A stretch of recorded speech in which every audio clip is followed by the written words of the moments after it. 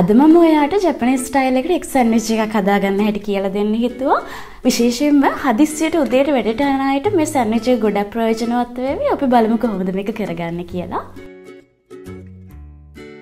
අපිට මේකට තම්බගත්ත බිත්තර දෙකක් අවශ්‍ය වෙනවා. ඊට අමතරව මෙතන මම පොඩි කැරට් අලයකින් භාගයක් කරන් තියෙනවා බීලුණු ගෙඩියක්. අම මිරිස් කරලා කරන් තියෙනවා. බීලුණු ගෙඩිය මම මේ වගේ කොටු හැඩයකට කපා ගන්නවා. අමු මිරිස් කරලා තීනයට කපා ගන්න. ඉතින් පොඩි බබාලට දෙනවා නම් මේක අමු මිරිස් දාගන්න නැතුව හදාගන්න. ඊළඟට කැරට් අලෙත් මේ වගේ හීනියට ග්‍රේට් කරගන්නවා.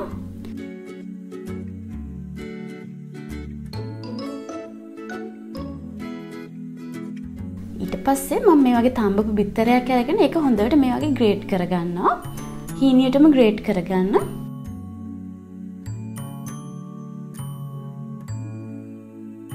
ඊළඟට මං අර කලින් කපාගත්ත කැරට් ටික බීලුණු ටික මේකට දාගන්නවා. ගම්බිරි සෝට අවශ්‍ය ප්‍රමාණයට මේකට දාගන්න පුළුවන්. ලුණුත් එහෙමයි. මම පොඩි ප්‍රමාණයක් දාගන්න. ඊළඟට මම විශේෂ දෙයක් දානවා. ඒ තමයි මයනීස්. මයනීස් තේ හැඳි භාගයක් විතර දාගන්නවා. ඉතින් ගෙදර මයනීස් නැති කෙනෙකුට මේකට බටර් හරි මාජරින් හරි දාගන්නත් පුළුවන්. දැන් මේ ටික ඔක්කොම හොඳට මේ වගේ අනාගන්න. අන්තිමට මම මේකට අර හීනියට කපාගත්ත අමිරිස් කරලා දාගන්නවා. ඉතින් ඔයාලට තව කැමති එළවලුවක් මේකට එකතු කරගන්න පුළුවන්. බොයිල් කරලා වගේ වුණත් එකතු කරගන්න පුළුවන්. දැන් මං කියවන බිත්තර දෙකක් අවශ්‍ය වෙනවා කියලා. දැන් මං එක බිත්තරයක් ග්‍රේට් කරගත්තා. අනිත් බිත්තරේ මේ වගේ දෙකට කපා ගන්නවා.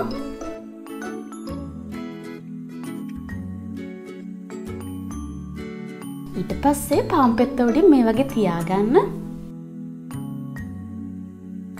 දැන් මම අර කලින් හදාගත්ත පේස්ට් එකෙන් භාගයක් මේකට දාගන්නවා මේ වගේ. දාලා ඉවර වෙලා මේ වගේ හැම තැනටම යන විදිහට පිළිවෙලට ගා ගන්න මේක.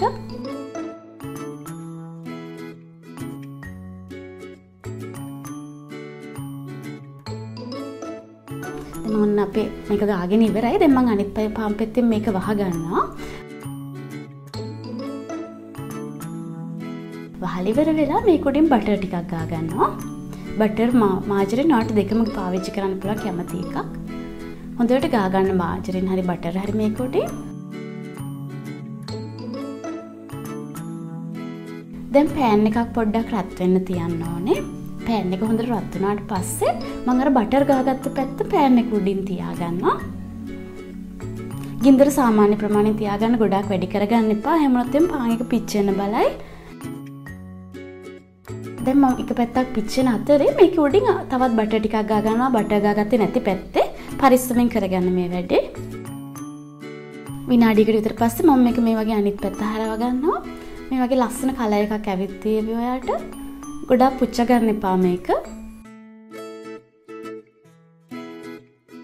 දෙපැත්තම හොඳට ලයිට් බ්‍රවුන් එකකට ආවට පස්සේ මම මේක මේ වගේ අයින් කරගන්නවා. අපි දැන් කපලා බලමු. මේ පේනවා නේද? ලස්සන මැද තියෙනවා.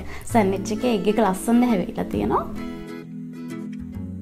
ඉතින් මං ඉතින් ඔයාලට මේක මං කලින් කිව්වා වගේ උදේට හදිස්සියට ලන්ච් බොක්ස් එකට හදාගන්න පුළුවන් විශේෂයෙන්ම චූටි බබාලා ඉන්නවා නම් ඔයාලට මේ වගේ දෙයක් හදලා දෙන්න පුළුවන් පෝෂණය අතිනුත් හොඳයි නිකම්ම බටර් ගාලා පාන් කනවට වඩා හරි ලේසියෙන් හදාගන්නත් පුළුවන් හරිම සරල රෙසිපි එකක්.